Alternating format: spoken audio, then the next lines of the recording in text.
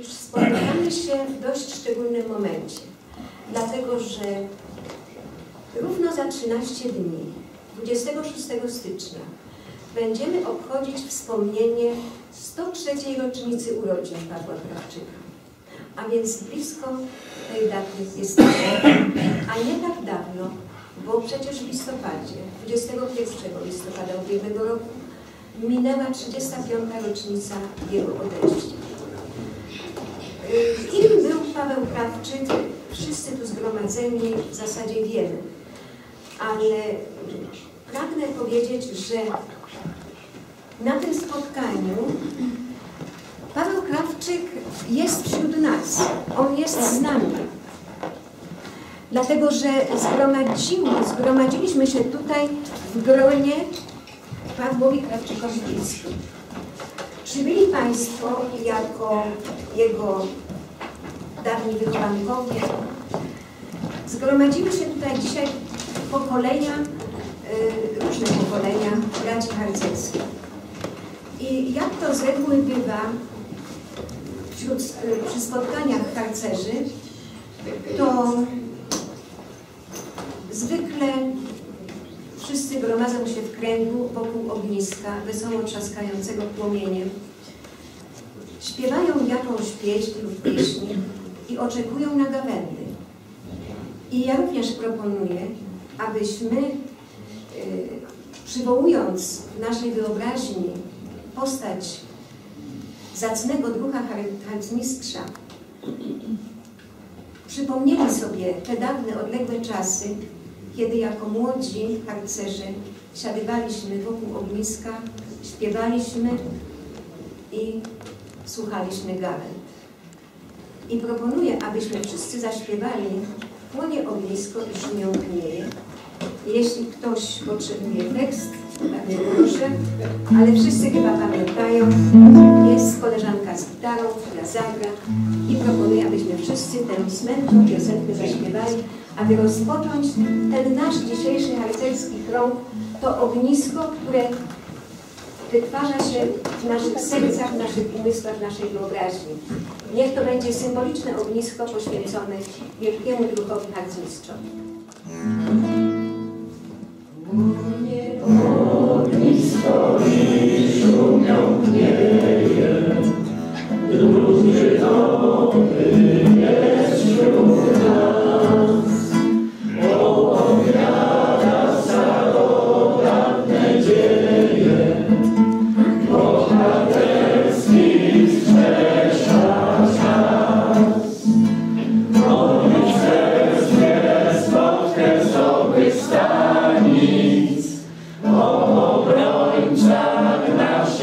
Naszych polskich granic, a ponad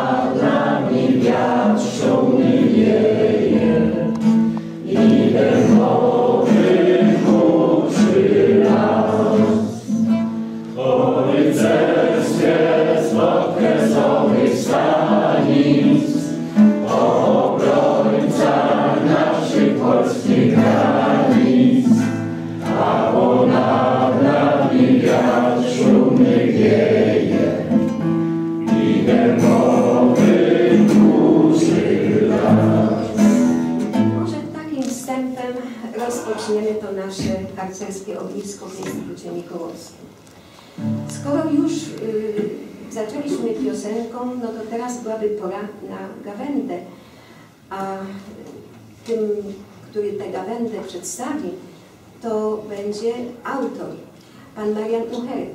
Ale zanim to jeszcze nastąpi, to chciałabym powiedzieć kilka słów na temat publikacji, którą dziś Państwu przedstawiamy. Otóż książka mm, pana Mariana Ucherka, Paweł Krawczyk, Legenda Śląskich Wodniaków, jest także publikacją dość niezwykłą. I jak już wspomniał pan dyrektor Instytutu, pan Maciej Melecki, jest to książka o charakterze biograficznym. Nie jest to jednak biografia naukowa, monografia, wyczerpująca wszelkie kanony tego rodzaju prac. Nie jest to również y, powieść biograficzna, ani y, która by ukazywała w sposób fabularny wątki z, z życia i działalności Pawła Krawczyka. Jest to publikacja oparta na faktach z jego życia i działalności. Y, Te wszystkie fakty, które autor przedstawia, uporządkowane są chronologicznie. Od przyjścia naszego bohatera na świat, aż po kres jego życia.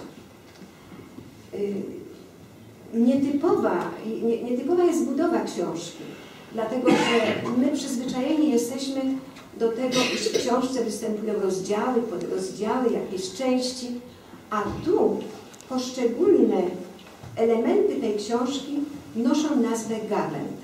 No bo jeżeli autor y, zdecydował się opowiedzieć o wielkim człowieku związanym z dziejami harcerstwa rodnego na Śląsku, to uważał, że właśnie forma gawędy będzie najlepszą y, formą przybliżenia go wszystkim czytelnikom. I mogę zapewnić, że każdy z Państwa, kto weźmie tę książkę do ręki, przeczyta ją z ogromnym zainteresowaniem, od początku do końca, bo taka właśnie ta książka jest.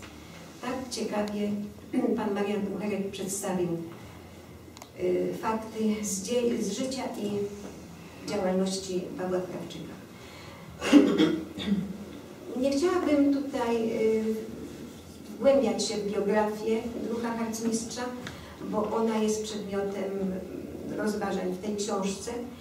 Y, Zaznaczę tylko, że y, autor również nie opisywał bardzo szczegółowo wszystkich wydarzeń, ale stworzył piękny zarys biograficzny od narodzin aż po odejście, jak już wspomniałam. I przede wszystkim główny akcent położył na prezentacji jego działalności.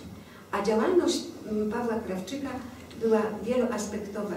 Obejmowała zarówno pracę pedagogiczną, pracę w szkołach, nauczanie.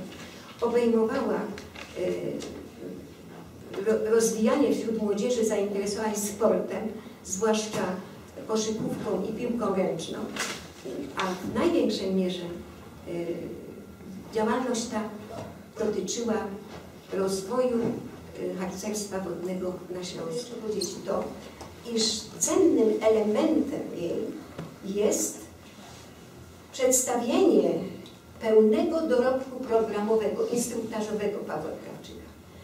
Do tej pory takie zestawienie się jeszcze nie ukazało.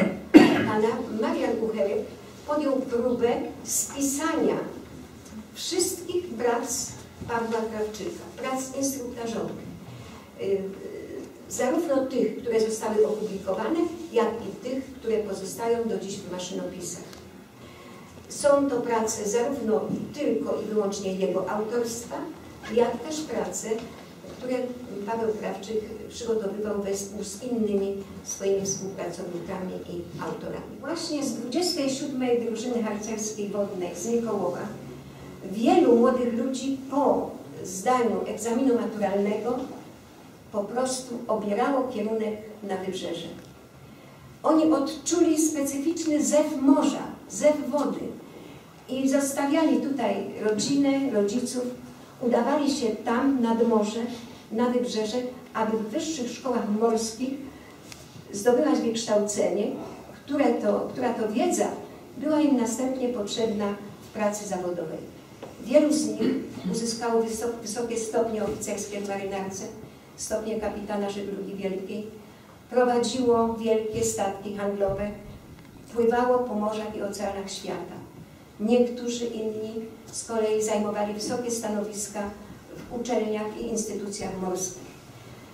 Zaznaczyli się właśnie ludzie z Mikołowa, ludzie, którzy wyszli spod patronatu Pawła Krawczyka, e, swoimi dużymi sukcesami w gospodarce morskiej i w transporcie morskim. Zachęcam do nabywania tej książki. A teraz wszyscy pewnie jesteśmy ciekawi, jaka to będzie gawenda pana Mariana Uchelka o Pawle Krawczyku. I może na początku y, zapytamy szanownego pana autora, bo wszyscy jesteśmy bardzo zaciekawieni, jak to się stało, że w ogóle powstał pomysł napisania takiej książki? Witam Państwa. Dziś nasłuchałem tyle przyjemnych y, rzeczy i tyle przyjemnych słów pod moim adresem, że przygotowałem sobie tą gawędę, tu Pani redaktor mówi, ale jestem zupełnie bez słowa rozklejony. Jak mi to dzisiaj coś nie wychodzi, to mam nadzieję, że jakoś Państwo mi to wybaczą, no bo rzecz jest rzeczywiście niezwykła. Y, Hartmut Krawczyk y, zmarł w 1982 roku bardzo dawno i myśmy o nim nie zapomnieli jako jego wychowankowie, jednak y, nigdy nie powstało jakiś zbiór dokumentów czy jakaś o nim wielka publikacja. Ukazywały się artykuły w gazetach, w prasie, w różnego rodzaju y, y, biograficznych pozycjach, natomiast no, brakowało nam czegoś takiego niezwykłego. I stulecie urodzin spotkaliśmy się z grupą przyjaciół na kilku spotkaniach, żeby zorganizować stulecie urodzin Duna Harcmistrza. I no, wtedy zdecydowaliśmy się w jakiś sposób, że musi powstać o nim książka.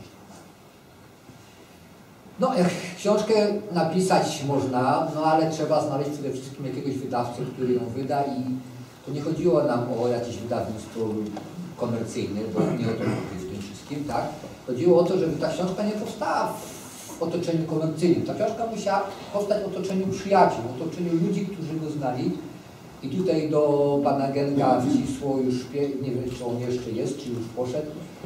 I pierwsza informacja i pierwsze podziękowanie to był taki ojciec chrzestny tego wszystkiego. I on w zasadzie spiął te wszystkie myśli, prawda, tą myśl utworzenia książki, tą myśl napisania, tą myśl wydania i spotkał nas, umówił z Instytutem Na, na, na, nie bywa, gdy trwa rozsłuchany uderza He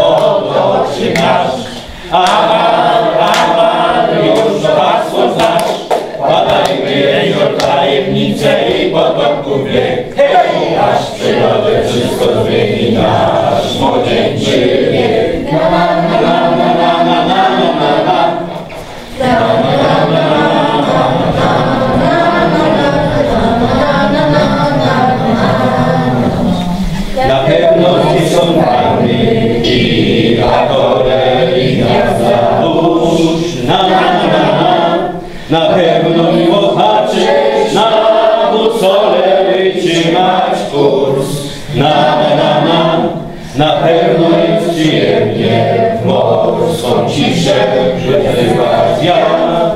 Na, na, na, na, lecz zanim nas podrosną się, śpiewajmy tak. I śpiewajmy wszyscy razem Amar, Amar, i otoczy nas. Amar, Amar, już to hasło znasz. Podajmy jezior tajemnice i potoku bieg. Przyrodę wszystko zmieni. Na,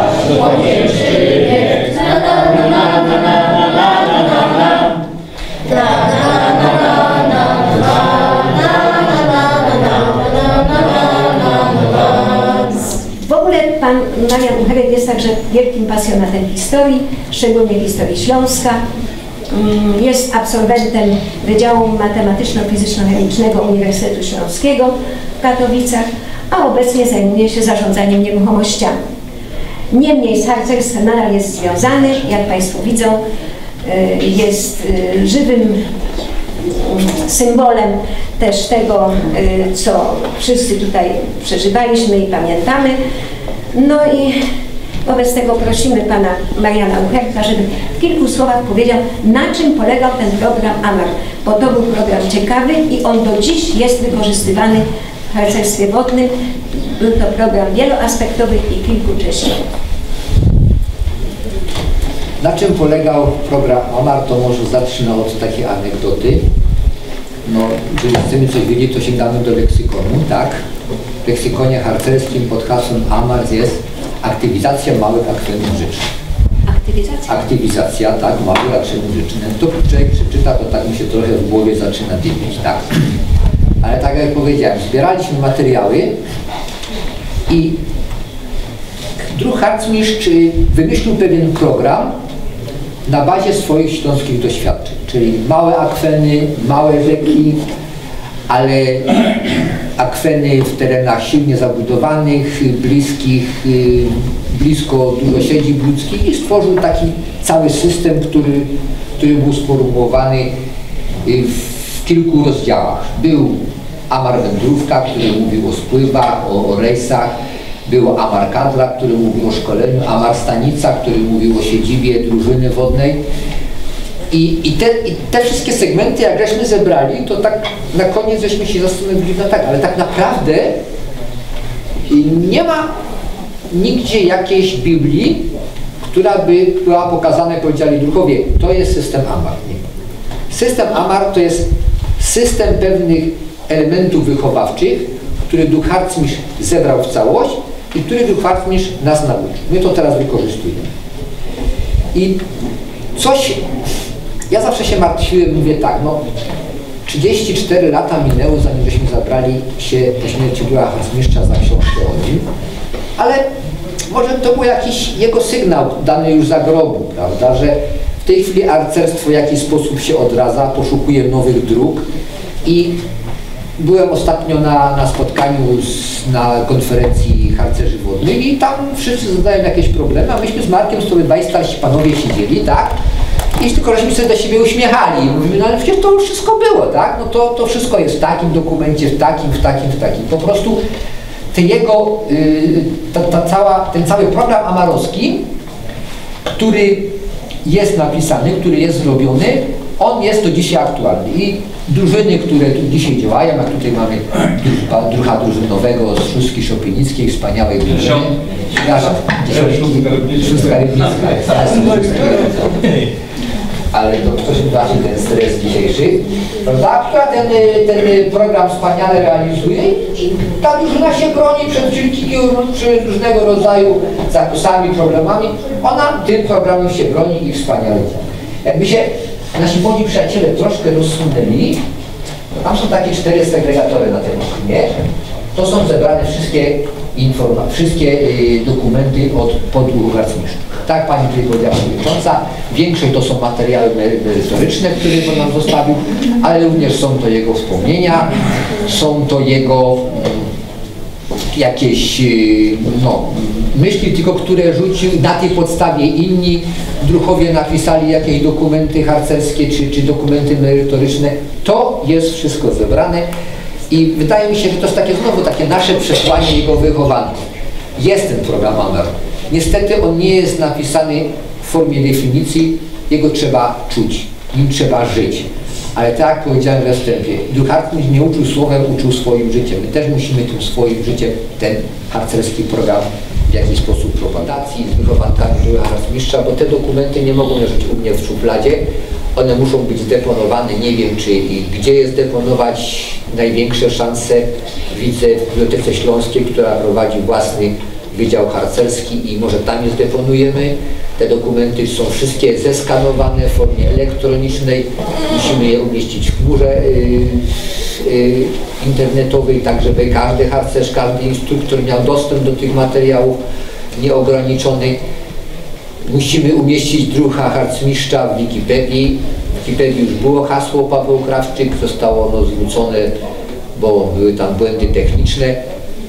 Ja nie znam się na tym i poszukuję harcerza, który by w jakiś sposób pomógł mi y, informacje o Ducha Zmieszczu umieścić w Wikipedii. Ja mówię, pracy przed nami jest dużo i bardzo bym wszystkich y, dalej zachęcał do tych prac i bardzo bym wszystkich dalej w jakiś sposób no, tutaj mobilizował, żeby o tym Amarze jednak nie zapomnieć, bo jest to program, który, który jest dobry, który się sam broni i który w tej chwili jest coraz szerzej wykorzystywany w całej Polsce y, przez wszystkich harcerzy, miejmy nadzieję. Ja bym na tym zakończył, bo nie chciałbym tutaj być autorem, tylko, tylko wszyscy jesteśmy autorami. Bohaterem tego spotkania jest Duch Harcmistrz, nasz wychowawca i myślę, myślę, że teraz, jeżeli są jakieś pytania albo coś, bardzo chętnie sobie podyskutować.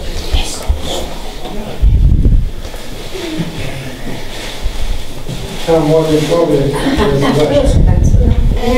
A jak, y, przepraszam, jak, ty, jak się da odratować te wszystkie zdjęcia? Jak to jest możliwe? Ale które zdjęcia? No wszystkie, które było ogólnie tutaj w tych aktach, jak to się da odratować? Jak na przykład są poniszczone? Tak, no tak jak powiedziałem, no rzeczywiście zdjęcie zachowało sporo, aczkolwiek różne w różnych okresach, tak?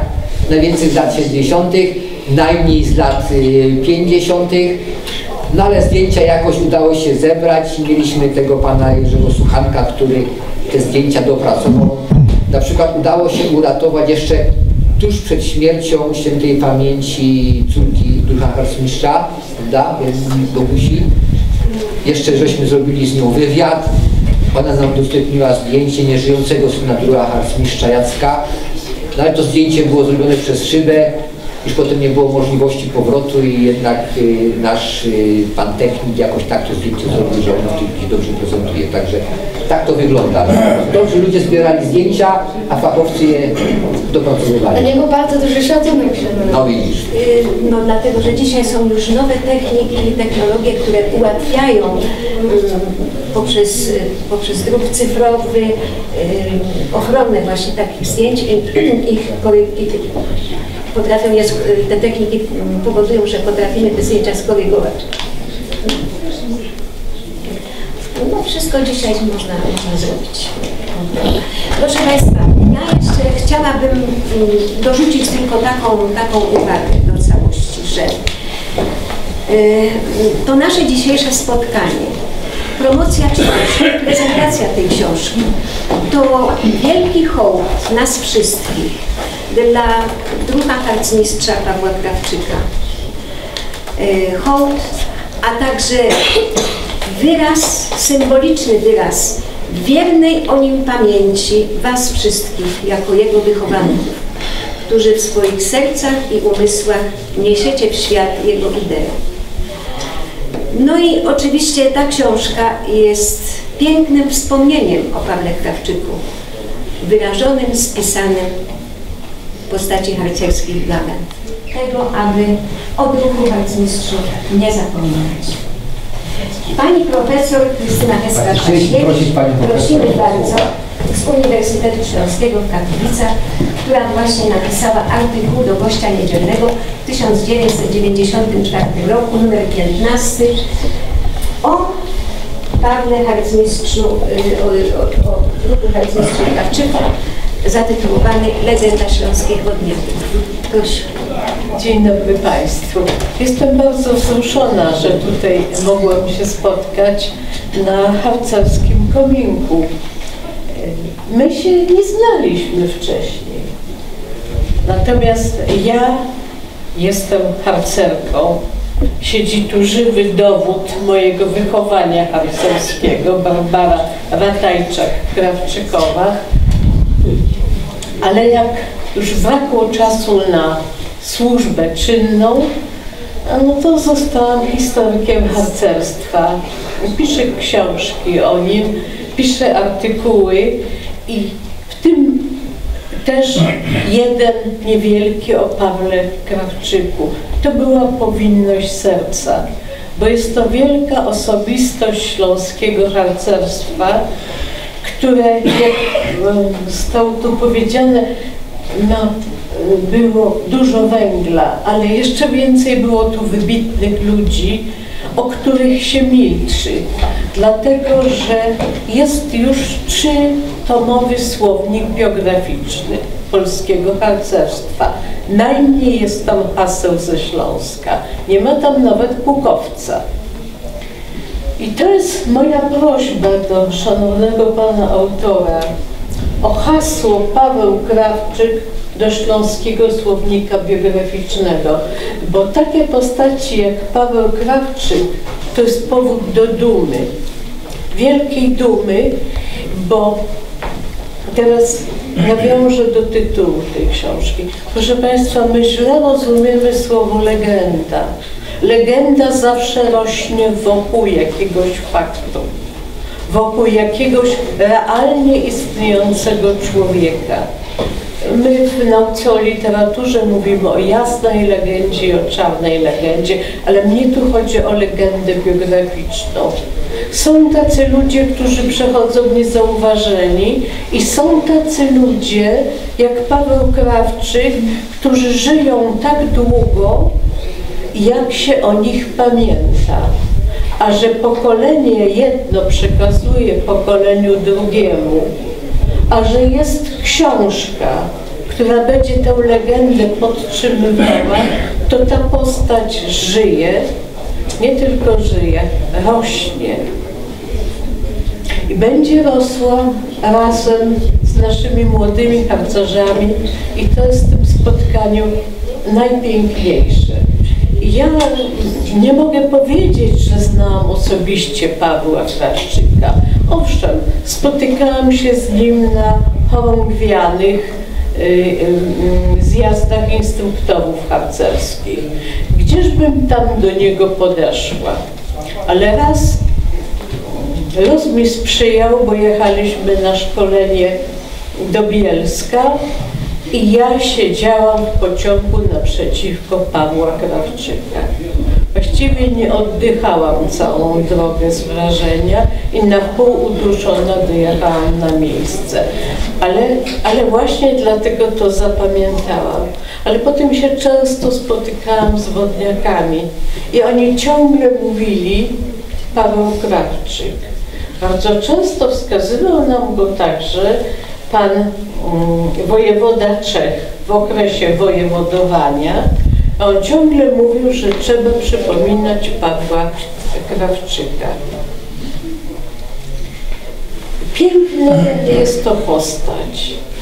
I piękny jest mundur wodniacki. I tak dużo jest piękna w tej legendzie, że może chwilami wydawać się nieprawdziwa. Ale nie, ona jest prawdziwa, ona rośnie własnym życiem.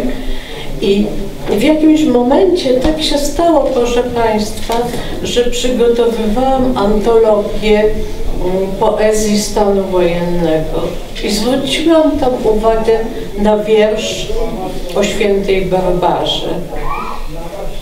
Nie chcę go zniekształcić, ale w każdym razie y, Gdy się zakończyła krwawa rzecz i wokół kopalni kordon rozciągnięto, święta Barbara spojrzała na trzymany w dłoni miecz i pożałowała, że jest kobietą i świętą. To jest wiersz Barbary. Bogumiły. Bogu, przepraszam, Bogumiły Krawczyk-Wnukowej. Pięknie się to splata w tej legendzie. I to jest także jej wewnętrzna prawda. Kiedy Pan do mnie zwrócił z pytaniem, czy mogę podarować tytuł swojego artykułu tej książce, to była jedna z najszczęśliwszych chwil w moim życiu, bo poczułam, że moje pisanie czemuś służy. Bardzo Panu pięknie za to dziękuję. Dziękuję.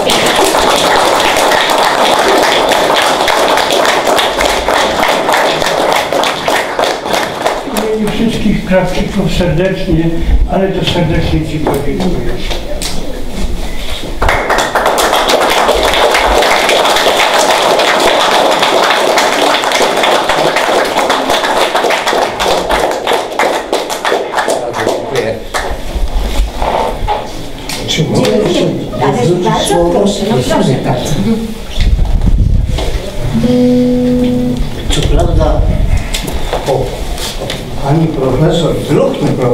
To nie powinienem w ogóle zabierać głosu, ale muszę się z wami podzielić taką, y, takim wydarzeniem związanym z Pawłem. Żeby usiąść.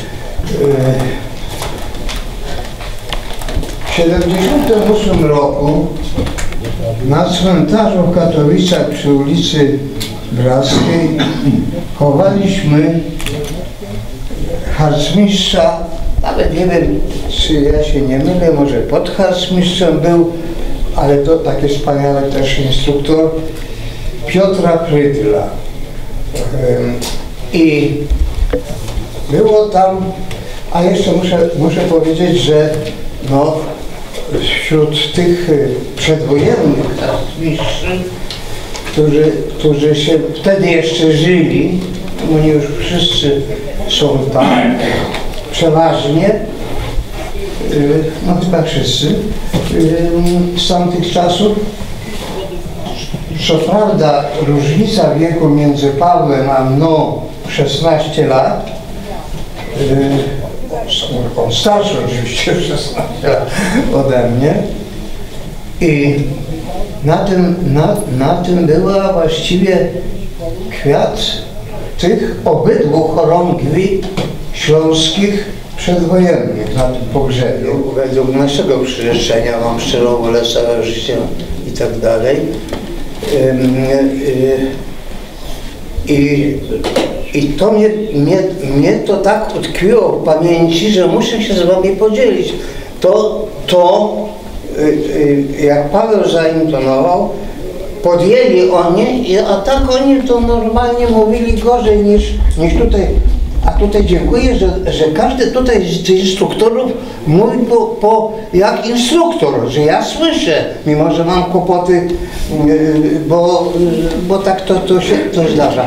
I wtedy ci ludzie, oni się jakoś wyprężyli, ci, ci, ci przedwojenni instruktorzy.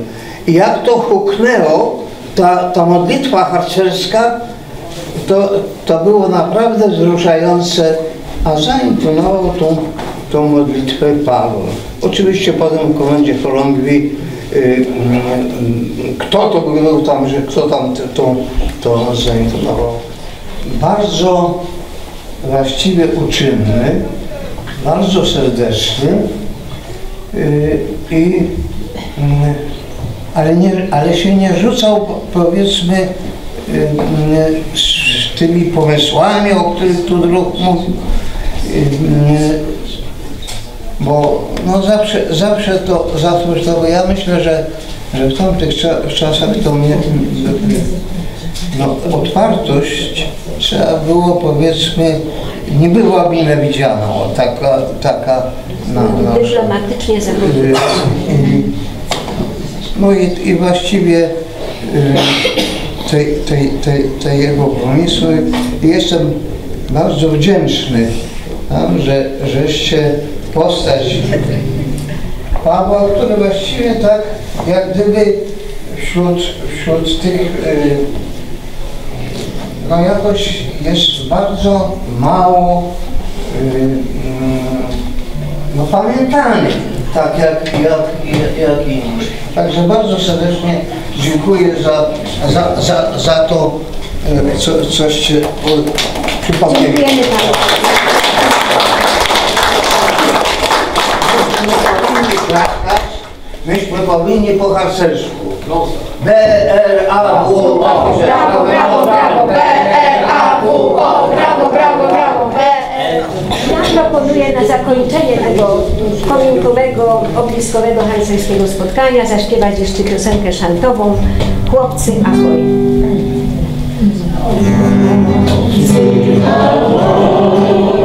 Niebieskie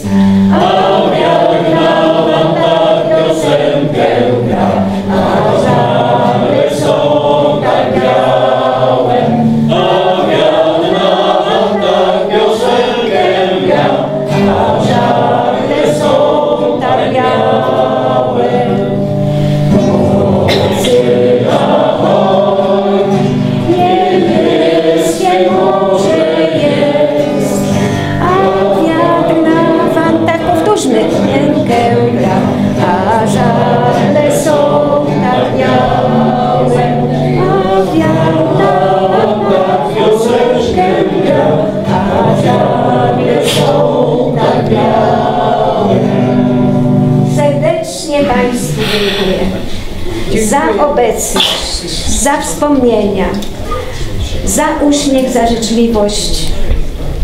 Bardzo, bardzo dziękuję wszystkim z Państwa.